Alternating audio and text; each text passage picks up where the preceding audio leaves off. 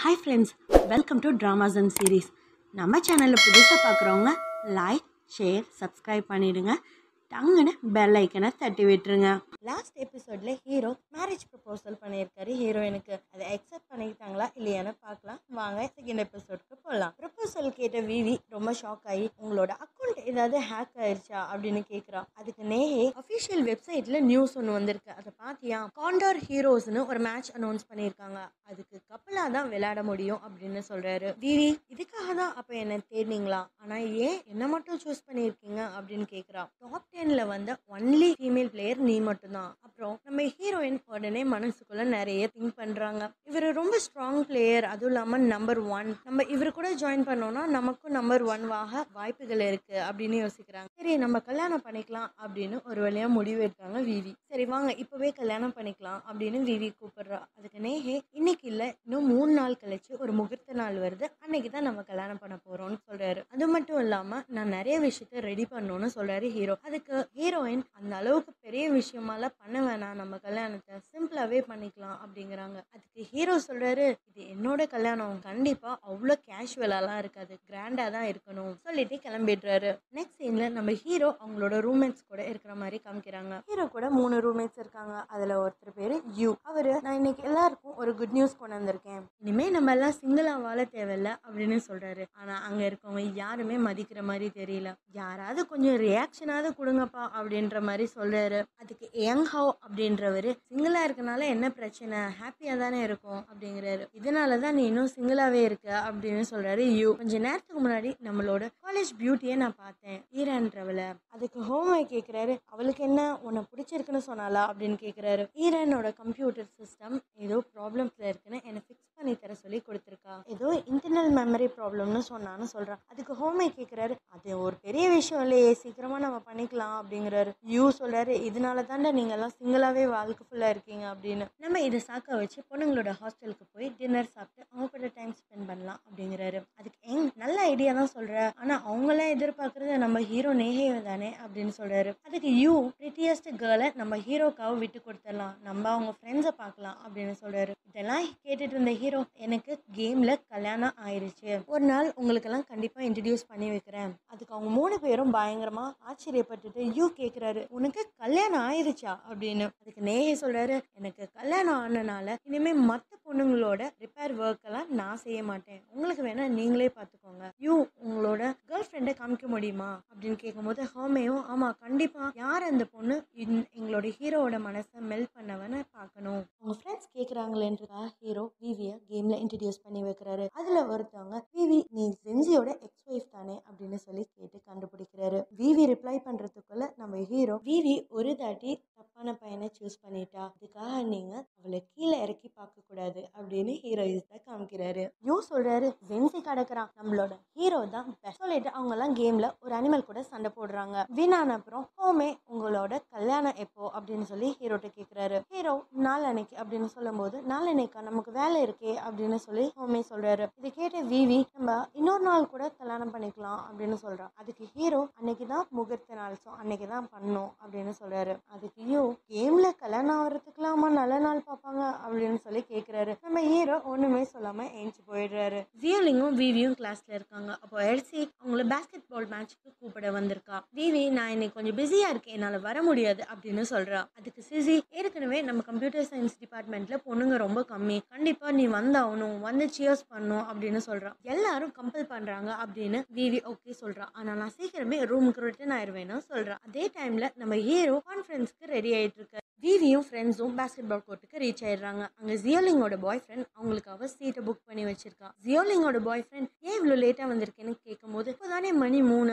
ஆறு மணிக்கு தானே மேட்ச் அப்படின்னு விவி கேட்குறா அதுக்கு அவன் நேஹே வராரு தெரியும்ல. ஸோ அதனால எல்லாரும் சீட்டை சேவ் பண்ணி வச்சிருக்காங்க. அது மட்டும் இல்லாமல் காலேஜ் பியூட்டி ஈரனும் வரான்னு கேள்விப்பட்டிருக்கேன். அப்படின்னு அவன் சொல்லும்போது அதுக்கு சியோலிங் காண்டாயிட்டு அவ வந்தா உனக்கு என்ன வராட்டி உனக்கு என்ன? அப்படின்னு கேட்குறான் அதுக்கு அவன் சேம் சைட் கோல் அடிக்கிற மாதிரி நான் அவளை பார்த்தது கூட கிடையாது. எல்லாரும் சொல்றாங்களே நான் சொல்றேன். அப்படின்னு சொல்றான். ஜியோலிங்கோட பாய் ஃப்ரெண்ட் நீ என்ன பாக்குறதுக்காக வந்திருக்கியா? இல்ல நேஹேவை பாக்குறதுக்காக வந்திருக்கியான்னு கேக்குறாரு. கண்டிப்பா நான் நேகையை பார்க்க தான் வந்திருக்கேன்னு அவர் சொல்லும்போது அப்போ நீங்க போறது தான் நல்லது. இன்னைக்கு அவர் வரமாட்டாருன்னு சொல்லும்போது எல்லாரும் ரொம்ப டிசப்பாயின்மெண்ட் ஆயிடுறாங்க. எர்சி அந்த போஸ்டர்ல போட்டிருந்துச்சே அப்படின்னு சொல்லி கேக்குறா அதுக்கு ஜியோலிங் பாய் ஃப்ரெண்ட் ஆமா எங்களோட ஐடியா தான் அது.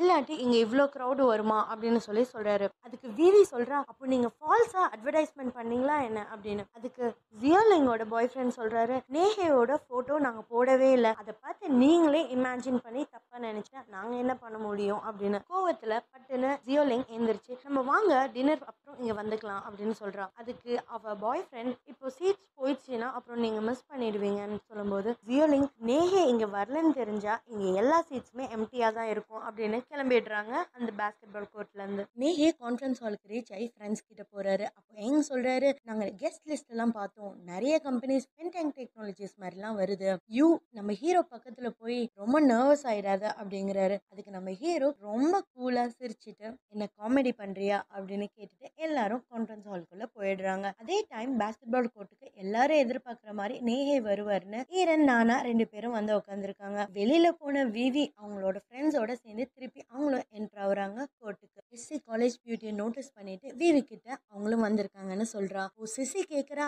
நேஹேவ இவளுக்கு கூட ரொம்ப பிடிக்குமா? அப்படின்னு. அதுக்கு எஸ்சி இதுல என்ன உனக்கு சந்தேகம்? கண்டிப்பா அவளுக்கு ரொம்பவே பிடிக்கும். நம்ம நேஹேவா நல்ல வேலைக்கு நம்மளோட மாஸ்டரோட ஸ்டாண்டர்ட் ரொம்ப ஹையா இருக்கு. அப்படி இல்லைன்னா இவ்வளெல்லாம் லவ் பண்ணா நான் மூணு நாள் கதவை சாத்திட்டு அழு அழுன்னு அழுவேன் அப்படின்னு சொல்ற அரிசி விவி கேம் ஸ்டார்ட் ஆகுது. அங்க பாருங்க அப்படிங்கிறான். விவி டிபார்ட்மெண்ட் ஜூனியர் பையன் விவியை ரொம்ப நாளா ட்ரை பண்றான். அவன் விவி கிட்ட நானும் நீயும் டின்னர் போலாமா? நான் மேட்சை வின் பண்ணிட்டு வந்தா? அப்படின்னு கேக்குறான். அதுக்கு வி உனக்கு ஜெயிப்போன்னு நம்பிக்கை இருக்கான்னு கேக்குறான். கண்டிப்பா எனக்கு நிறையவே இருக்குன்னு சொல்றான். சரி குட் லக் அப்படின்னு சொல்லி அனுப்பி விடுற விவி சிசி சொல்றா இந்த காலத்து பசங்க எப்படிலாம் யோசிக்கிறாங்க பாரு? கேமை வச்சு அவன் மிரட்டிட்டு போறான் டிமாண்டை சொல்லிட்டு போறான். நேரம் நீ நோ சொல்லியிருந்தீங்கன்னா விவியும் தோத்தது காரணம்னு சொல்லி ப்ளேம் பண்ணியிருப்பான். அதுக்கு சியோலிங் சொல்றா இப்போலாம் விவி மாஸ்டர்ஸே பண்ணியிருக்கா ரிஜெக்ட் பண்றதுல. அவ்வளோ அழகா பண்றா அப்படின்னு. அதுக்கு விவி ஆமா இதெல்லாம் எனக்கு பயங்கர எக்ஸ்பீரியன்ஸ் ஆயிடுச்சு அப்படின்னு சொல்றா. இந்த கான்ஃபரன்ஸ் ஹாலில் எல்லாரோட ப்ரெசன்டேஷனும் முடியுது. நம்ம ஹீரோ தான் கடைசி பெர்ஃபார்ம் பண்றாரு. ஸோ அவரோட ஆன்லைன் கேம் பத்தி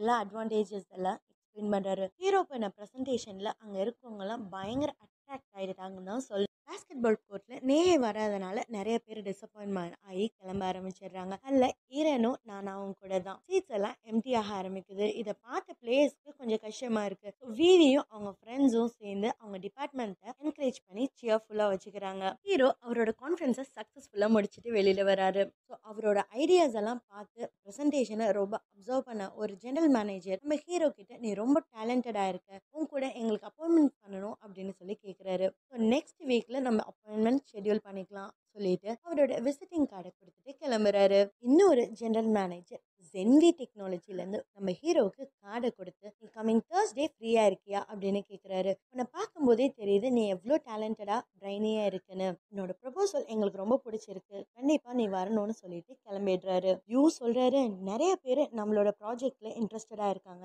சரி பார்ப்போம் அப்படின்னு சொல்லிட்டு ஹீரோ என்னோட டேட்டுக்கு டைம் ஆயிடுச்சு அப்படின்னு கிளம்புறாரு. அதே சமயத்தில் வீவியும் ரூமுக்கு குடுகுடுன்னு ஓடி வரா. கேம்குள்ளே லாகின் பண்ணி ஹீரோ கிட்ட சாரி நான் லேட்டாக வந்துட்டேன் அப்படின்னு சொல்கிறா அதுக்கு ஹீரோ பரவாயில்ல நானும் இப்போ தான் வந்தேன். அவங்க வெட்டிங் செரிமனிக்காக நிறைய பேர் அங்கே வந்திருக்காங்க. அதுக்கு விவி அந்த ரெண்டு லீடர்ஸும் எதுக்காக வந்திருக்காங்க? நீங்கள் இவ்வளோ பேரை கூப்பிட்டுருக்கீங்கன்னு நேஹே கிட்ட கேட்குறா அதுக்கு நேஹே நீ அவங்களே போய் கேளு அப்படிங்கிறாரு. அவ கேட்கும் போது எல்லாரும் அவளுக்கு வாழ்த்துக்கள் சொல்கிறாங்க எங்களை ஒருக்க நேஹே பெரிய விஷயத்துல இருந்து காப்பாற்றிருக்காரு ஹெல்ப் பண்ணியிருக்காரு. ஸோ அவரோட வெட்டிங்க்கு நாங்கள் இல்லாமல் எப்படி இருக்கோம்? உங்கள் கல்யாணத்தை கண்டிப்பாக நாங்கள் மிஸ் பண்ண மாட்டோம் அப்படின்னு ஒரு லீடர் உங்களோட கல்யாணம் வண்டி முன்னாடி போகும்போது நாங்களாம் குதிரையில் வருவோம் அப்படின்னு சொல்கிறாரு அதுக்கு இன்னொரு லீடர் ஆமா நீங்க அன்பளிப்பெல்லாம் கொடுப்பீங்கல்ல. ஸோ அதுக்காக காத்துட்டு இருக்கோம் அப்படின்னு கேட்ட உடனே விவிக்கு மனசுல இத்தனை பேத்துக்கு நம்ம ஹீரோ அன்பளிப்பு கொடுத்தாருன்னா அவரோட பேங்கே எம்டி ஆயிடும் அப்படின்னு யோசிக்கிறாங்க. நம்ம ஹீரோ அவர் ஒரு கத்தியை கொடுத்து வெட்டிங் கிஃப்டா அக்செப்ட் பண்ணிக்கோன்னு சொல்றாரு. அதுக்கு ஹீரோயின் எனக்கு வேண்டான்னு சொல்லும்போது இது நம்ம ஃபியூச்சர்ல நம்ம கப்பலா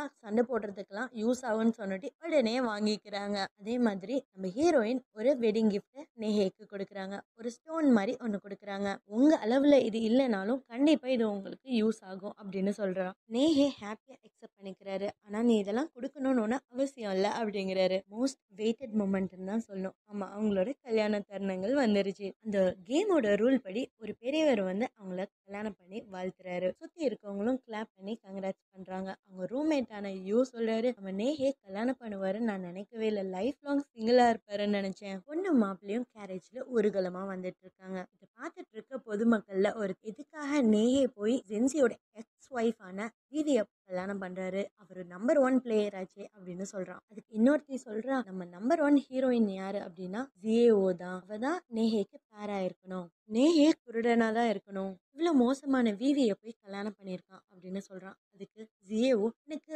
ஜென்சியே போதும். அவன் கூடவே நான் ஹாப்பியா இருக்கேன். ஜிஏவோட ஃப்ரெண்டு கேட்குறான் இன்கேஸ் நேஹேயும் உன்னை விரும்பி இருந்தானா அவனு கூட பணக்காரனா தானே இருக்கான். நீ ஜென்சியை லவ் பண்ணுவியா? இல்லை நேஹேவே சூஸ் பண்ணியிருப்பியான்னு கேட்குறான் அதுக்கு ஜிஏஓ கண்டிப்பா நான் ஜென்சியை தான் சூஸ் பண்ணியிருப்பேன். இதெல்லாம் கேட்குற நம்ம ஹீரோவோட ஃப்ரெண்ட்ஸுக்கு ரொம்ப கோவம் வந்துடுது எங்கள் தேர்ட் சிஸ்டர் லவ் பற்றி யார் தப்பாக பேசினது? எங்கள் third sister love fight power உங்களுக்குலாம் தெரியுமா? அவங்க எவ்வளோ ஸ்ட்ராங்னு நீங்கள் வந்து ஃபைட் பண்ணி பாருங்க அப்படின்னு கூப்பிடுறாங்க. அங்கே யாரும் வாயை திறக்கல. ஸோ திரும்ப அவங்க கண்டினியூ பண்ண ஆரம்பிக்கிறாங்க. கேரேஜோட ஒரு கலத்தை. கூட்டத்தில் இருக்கவங்க ஹீரோவும் ஜேவும் சேர்ந்து ஒரு மான்ஸ்டரை கொன்னதா பேசிட்டு இருக்காங்க. இதெல்லாம் கேட்ட விவி உடனே நேஹேக்கு மெசேஜ் பண்ணுறா உங்களுக்கு ஜேஓ ஏற்கனவே தெரியுமா? அப்படின்னு கேட்குறா அதுக்கு ஹீரோ எனக்கு தெரியாதுன்னு சொல்கிறாரு அதுக்கு விவி கேட்குறா இப்போதான் யாரோ பேசிட்டு இருந்தாங்க. நீங்கள் ரெண்டு பேரும் சேர்ந்து ஒரு மான்ஸ்டர் கூட சண்டை போட்டதா? ஒரு நாள் யூ தான் அவளை நம்ம டீமுக்கு இன்வைட் பண்ணியிருந்தா. ஆனால் அவளோட கேமிங் ஸ்ட்ராட்டஜி ரொம்ப கேவலமாக இருந்தனால நான் அவளை வெளியில் அமிச்சிட்டேன் அப்படிங்கிறாரு ஹீரோ கேமில் ஹீரோ ஹீரோயினோட ப்ரைவேட் டைம் வருது. அவங்க ஃப்ரெண்ட்ஸ் எல்லாம் ரொம்பவே எக்ஸைட்டடாக இருக்காங்க கிண்டல் பண்ணிட்டு இருக்காங்க. அதுக்கு யூ கேட்குறாரு இதெல்லாம் எப்போ வந்துச்சு? அதுக்கு ஏங் இப்போதான் இதெல்லாம் ஆரம்பிச்சாங்க ரீசெண்டாக ஆனால் இது ரொம்ப போரிங் தான். ஒன்று நின்று பேசுவாங்க இல்லை உட்காந்து பேசுவாங்க இப்படியே மாற்றி மாற்றி பண்ணுவாங்க. அதுக்கு யூ வேற என்ன பண்ணணும்னு நீ எக்ஸ்பெக்ட் பண்ற அப்படின்னு கேக்குறாரு. இந்த கேப்ல ஹீரோக்கு கால் வருது. விவி கிட்ட நான் ஒரு கால் அட்டன் பண்ணும் அப்படின்னு கிளம்பிடுறாரு. வந்து பார்க்கும்போது ஏர் பலூன்ல ஹீரோவும் ஹீரோயினும் பறந்துட்டு இருக்காங்க. அதுக்கு விவி இங்க என்ன பண்றோம் அப்படின்னு கேக்குறா. நம்ம சீனரி என்ஜாய் பண்ண போறோம். இன்னைக்கு நிலா ரொம்ப அழகா இருக்கு. இது நம்மளோட ஹனிமூனா அப்படின்னு ஹீரோயின் கேக்குறா. ஹீரோ எதுவுமே பேசாம இருக்கும்போது மாஸ்டர் ரொம்ப ப்ரொஃபஷனலா இருக்காரு அப்படின்னு மனசுக்குள்ளே நினைச்சுக்கிறா. பொண்ணு மாப்பிள்ளையும் அவங்களோட டைமை நல்லா ஸ்பெண்ட் பண்ணிட்டு இருக்கும்போது கேம்லேருந்து அவங்களுக்கு ஒரு மெசேஜ் வருது. உங்களோட மேரேஜ் மிஷன் கம்ப்ளீட் ஆயிடுச்சுன்னு எஸ்சியும் விவியும் கிளாஸ் முடிஞ்சு கேண்டீன் போறாங்க. போற வழியில விவி அவங்க போன்லயே பார்த்துட்டு வராங்க. என்ன பாக்குறேன்னு கேட்கும்போது காலேஜ்ல காசப் எல்லாம் போடுறதுக்குன்னு ஒரு வெப்சைட் வச்சிருக்காங்க. அதை பார்த்துட்டு படிச்சுட்டே போறாங்க. டிபார்ட்மெண்ட் பியூட்டி ஒரு லக்ஸரி கார்ல இருந்து இறங்குது. இதெல்லாம் என்ன பொண்ணு அப்படின்னு சொல்லி ஒரு இன்ஃபர்மேஷன் போட்டிருக்காங்க. ஆனா அந்த போட்டோ லோட் ஆக டைம் ஆகுது. லோட் ஆகி அப்புறம் தான் தெரியுது. அந்த ஃபேஸை பிளர் பண்ணியிருக்காங்க. அந்த பேக்கை வச்சு அது விவின்னு கண்டுபிடிச்சிடுறாங்க. விவி அந்த போட்டோவை பார்த்துட்டு அது நான் தான் நான் என்னோட டியூஷன் பையனுக்கு முடிச்சிட்டு வரும்போது அவங்க அம்மா தான் இந்த கார்ல ட்ராப் பண்ணாங்க. எர்சிஸ் கேக்குறா? என்ன திமிர இருக்கும் இந்த பையனுக்கு? இப்படி ஒரு தப்பான இன்ஃபர்மேஷனை கொடுத்துருக்கான். நல்ல வேலைக்கு உன் மூஞ்ச பிளராது பண்ணியிருக்கான். இப்போ என்ன பண்ணலாம்? அப்படின்னு எர்சி கேட்குறா அதுக்கு சரி நம்ம லஞ்சை சாப்பிட்டு அந்த யூசர் நேம் யாருன்னு கண்டுபிடிச்சிடலாம் அப்படிங்கிற விவி. ஹீரோ லைப்ரரியில் இருக்க மாதிரி காமிக்கிறாங்க. அங்கே எல்லாரும் இந்த டிபார்ட்மெண்ட் பியூட்டியை பற்றி இன்ஃபர்மேஷனை படிச்சுட்டு டிஸ்கஸ் பண்ணிட்டு இருக்காங்க. பின்னாடி இருக்க நேஹே அவளோட பிக்சரை பார்த்து அந்த பேகு அவள் வச்சிருந்த ஞாபகம் நம்ம ஹீரோக்கு வருது. அந்த போட்டோ பார்த்துட்டு கண்டுக்காமே இருக்காரு. விவியும் எர்சியும் சீக்கிரமா ரூமுக்கு வராங்க. வந்து விவி போஸ்ட் பண்ணவனோட ஐபி அட்ரஸை எடுக்கிறா. விவி யூசர் நேமை கண்டுபிடிச்சு சொல்றா. நான் அது யாருன்னு கண்டுபிடிக்க முடியல. எர்சி இந்த யூசர் நேமை நான் எங்கேயோ கேள்விப்பட்டிருக்கேன். இவன் ஃபாரின் லாங்குவேஜ் டிபார்ட்மெண்ட் ஸ்டூடெண்ட் இவன் தான் டாப் நம்பர் ஒன் இவனும் நல்லா ஹேண்ட்ஸமாக இருப்பான். ஆனால் நம்ம நேஹே கூட கம்பேர் பண்ணும்போது கண்டிப்பாக கம்மியாக தான் இருப்பான். ஜியோலிங் அவன் பேர் என்ன அப்படின்னு கேட்குறா அதுக்கு எரிசி அவன் பேர் சியோ குவாங் அப்படிங்கிறான் நான் இது வரைக்கும் அவன் பேரை கேள்விப்பட்டதே இல்லையே அப்படின்னு விவி சொல்கிறான் விவி பயங்கர கடுப்பாயிட்டு என்னை பற்றி எப்படி அவன் போடலாம்? அப்படின்னு சொல்லி அவனை பார்க்க கிளம்புறா. விவி அவங்களோட டிபார்ட்மெண்ட்டுக்கு போகிறான் அங்கே ரெண்டு பசங்கள்கிட்ட குவாங்னு யாருன்னு தெரியுமா? எங்க இருப்பான்? அப்படின்னு கேக்குறா. அப்போதான் கரெக்டா ஸ்கூட்டர்ல குவாங் வந்துட்டு இருக்கான். அவன் முன்னாடி போய் விவி நிக்கிறா உன்கிட்ட கொஞ்சம் பேசணும் அப்படின்னு சொல்லி ஒரு போட்டோ கொடுக்குறா. அதுல ஒரு குட்டி பையனும் ஒரு அம்மாவும் இருக்காங்க. அந்த பையனுக்கு தான் நான் டியூஷன் எடுக்கிறேன். அவங்க அம்மா ஒரு சிங்கிள் மதர் ஹஸ்பண்ட் கிடையாது. அவங்க தான் அன்னைக்கு என்னை கார்ல வந்து ட்ராப் பண்ணது. நான் கார்ல இறங்கி வந்தது உனக்கு கஷ்டமா இருந்தா அது உன்னோட பிரச்சனை. நீ எதுக்கு அதை ஆன்லைன் வெப்சைட்ல போஸ்ட் பண்ண? இது இப்போ உன்னோட பிரச்சனை மட்டும் கிடையாது. அதுக்கு குவன் இப்போ என்ன பண்றது அதுக்கு? அப்படின்னு அசால்ட்டா கேட்குறான் இப்போவே அந்த போட்டோவை டெலீட் பண்ணிட்டு எங்கிட்ட சாரி கேளுன்னு கேட்குறான் அதுக்கு குவன் இந்த போட்டோ உண்மையா பொய்யான்னு யாருக்கு தெரியும்? நீ ஒரு கம்ப்யூட்டர் சயின்ஸ் ஸ்டூடெண்ட் ஒரு ஃபேக் போட்டோ ரெடி பண்றது உனக்கு என்ன கஷ்டமா? அப்படின்னே கேட்குறான் அதுக்கு விவி நான் இவ்வளோ சொல்லியும் நீ நம்பலையா? அப்படின்னு கேட்குறான் நான் எல்லாரையும் நம்பாம கிடையாது. ஸ்போர்ட்ஸ் கார்லேருந்து வந்த உன்ன மாதிரி பொண்ணுங்களை தான் நம்ப மாட்டேன்னு சொல்கிறான் நான் இவ்வளோ சொல்லியும் நீ ஏற்றுக்கலன்னா சரி பரவாயில்லன்னு அந்த ஃபோட்டோக்கு பின்னாடி ஒரு அட்ரஸ் எழுதி கொடுத்துட்டு நீ நேர்லேயே வந்து பார்த்துக்கோ எனிவே என்னோட டியூஷன் பையனுக்கு ஒரு இங்கிலீஷ் டீச்சரும் தேவை. ஸோ வந்து பாரு அப்படின்னு சொல்லிட்டு கிளம்பிடுறான். விவியை பார்க்க எர்சி ஓடி வந்து என்ன ஆச்சுன்னு கேட்கும்போது அவன் சுத்தமாக என்னை நம்பல. அதை ஃபேக் போட்டோன்னு சொல்லிட்டான். ஸோ இப்போ என்ன பண்றது எர்சி கேட்டா என்னைக்குமே ஒரு பொய் உண்மை ஆகாது ஸோ நான் ஏதாவது பண்ணி பார்த்துக்கலாம் விவிய கேம்ல நம்ம ஹீரோ ஹெவன்டி பிளானஸ்க்கு வா அப்படின்னு கூப்பிடுறாரு. விவியை பத்தி தப்பா கல்யாணத்தப்போ பேசினவன பிடிச்சி நம்ம ஹீரோ கட்டி வச்சிருக்காரு. உன்கிட்ட இருக்கிறதுலே பயங்கரமான ஆயுதத்தை எடுத்து அவனுக்கு ஒரு லெசனை டீச் பண்ணுன்னு சொல்றாரு. அதுக்கு அவன் சொல்றான் நான் என்ன தப்பா சொன்னேன்? ஜென்ஜியோட எக்ஸ் ஒய்ஃபை கல்யாணம் பண்ற அப்படின்னு தான் சொன்னேன். உனக்கு வேணா என்ன பொண்ணுரு எதுக்கு ஒரு பொண்ணை கூப்பிட்டு என்னை அசிங்கப்பட வைக்கிற?